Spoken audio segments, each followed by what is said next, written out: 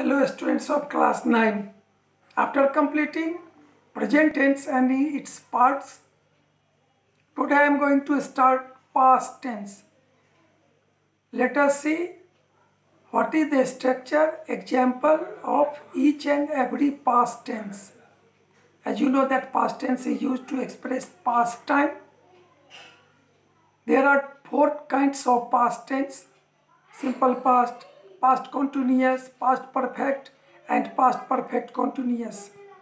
Now see what is the structure and example of each and every past tense.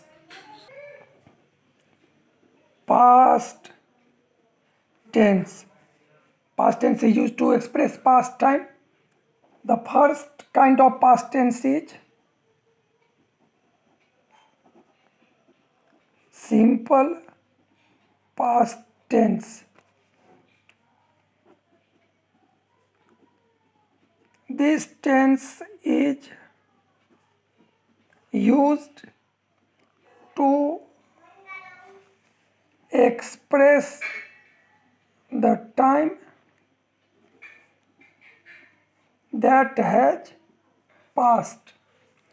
The structure of this tense is subject plus second form of the verb and object.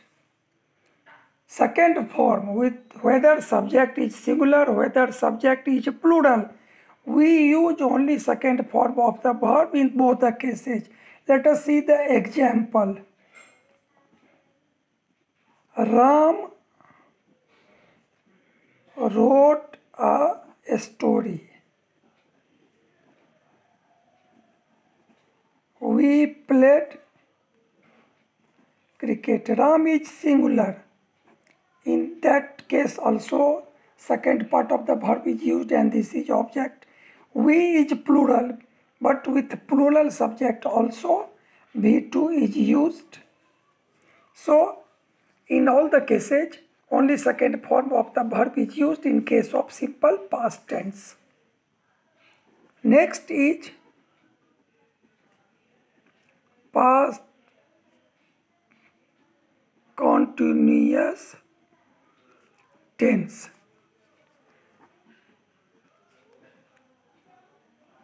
This tense is used to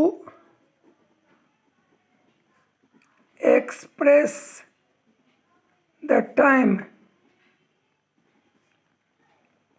which was going on at the time of speaking. In other words, we can say that the work was going on at the time of speaking.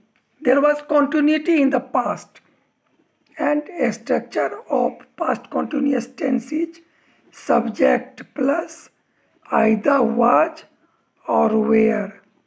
Then fourth form of the verb is used. Then we write object. Subject was. Was is used with singular subject. Where is used with plural subject. If you write singular subject Sita was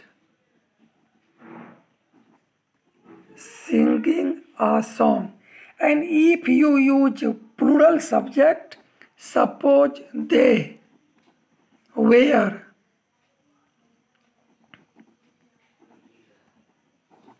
writing a letter so subject was before and object in case of plural verb where is used before is used and this is object hmm.